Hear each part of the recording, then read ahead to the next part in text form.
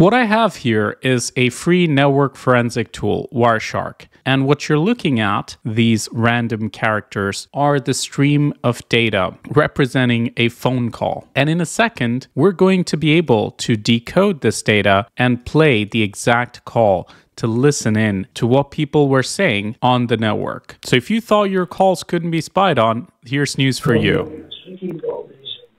Guy. His name's Phil Ruffin. He's a very rich guy from Las Vegas. Of the, he's a great card player. He's a very, very wise kind of a guy, and very one of the richest people around. Now, you might be able to recognize that voice. That is, of course, President Trump.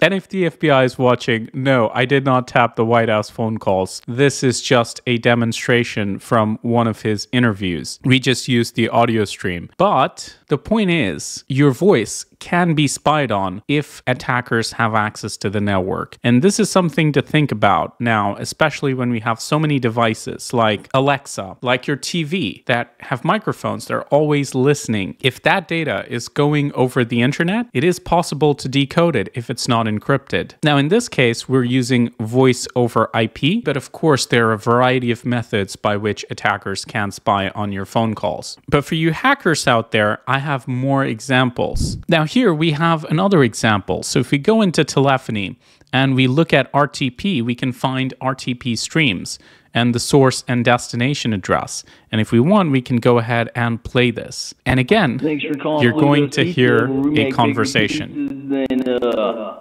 Mars, man. How can I help you today? Hey, I'm trying to get that Panda special. And here you can see two different streams of people speaking. But of course, that is not the only thing you can get from capturing network traffic. You can also get any files that are transmitted. So if you're uploading files, sharing files, that information, also if it's not encrypted and somebody captures the data on the network, can be found out. So let's do an HTTP search here. So this is the protocol. HTTP is the typical protocol you use to communicate on the internet. HTTPS would be the encrypted version with SSL.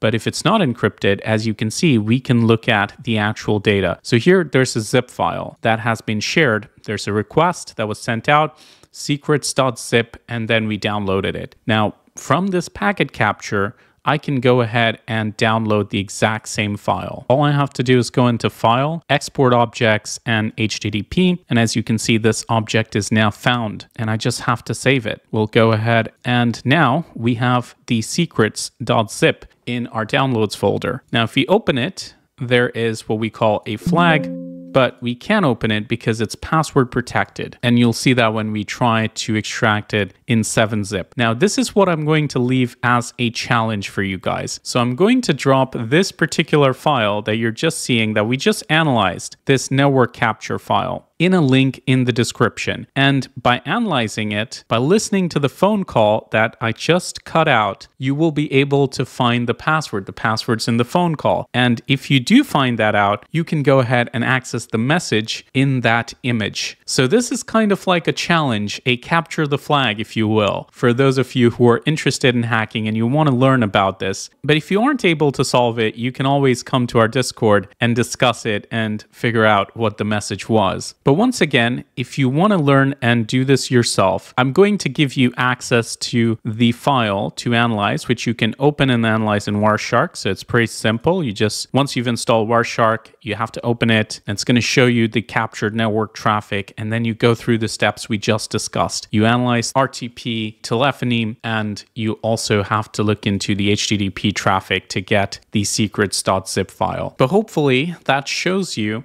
how it's possible to inspect network traffic and get useful information from it if it's not encrypted. This is kind of like code breaking 101. You can even see what router was used here. So this was uh, the destination was a Netgear. But for those of you interested in hacking, this should be a really fun challenge. So I'm looking forward to you finding out the message and posting it in the comments. I'm sure many of you will do it instantly, but it should be fun. Let me know if you'd like to see more videos like this, more videos talking about hacking techniques and how to break or decode messages on the internet. Hopefully, this gives you an idea of how hacking works to some extent. Just remember any information that's transmitted digitally, if intercepted, can be seen by the attacker. The only way to prevent that is to actually encrypt the data so that even if they see it, they can't really understand it. But at some point, obviously, if you can receive the data, somebody else can also decode it to get the message just like you. Should also tell you why encryption is so important. I want to give a shout out to Null404, a DEF CON community that worked with us to set up this challenge, which you can find if you break through that challenge. Now, you might also be wondering if my data is captured where it might end up. And a place you don't want it to be is the dark web, but we can see what kind of data we can find on dark web if we look for captures. We search for PCAP, which is the file format for packet captures on the network. You can see there are posts about that and even reports of agents starting a PCAP listener. Now, this is what a potential network compromise looks like. If there's somebody listening in on your network, capturing the network traffic, then they could potentially extract the kind of information that you just saw earlier in the video if it's not encrypted. But not just that, they could look at the websites you're visiting, or more importantly, any credentials or chat logs that are, again, not encrypted, just transmitted over the internet. Now, if you want to see what kind of data is there on you on the dark web specifically, you could do a search on Flare, which is the sponsor of this video this is a fairly powerful search engine for the dark web. Just allows you to see what kind of footprint you have there, what hackers are talking about without, you know, having to go on the dark web yourself. They also help you manage your organization's profile. They can alert you if your data is leaked by ransomware, if your infected devices are traced or posted on the dark web, can alert you of a compromise. So check them out using link in description. Check out the free trial and do like and share this video if you enjoyed it. This is Leo. Thank Thank you so much for watching, and as always, stay informed, stay secure.